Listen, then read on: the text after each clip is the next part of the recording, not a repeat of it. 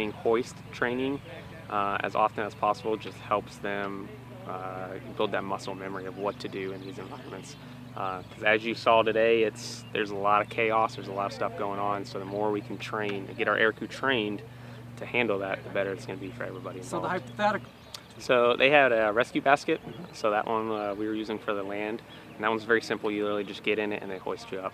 The one we used in the water and on the land was called a rescue strop. Mm -hmm. uh, that one's a little more complicated, but it's just behind the back, under the arms, and then up, and then it's got a little harness seat.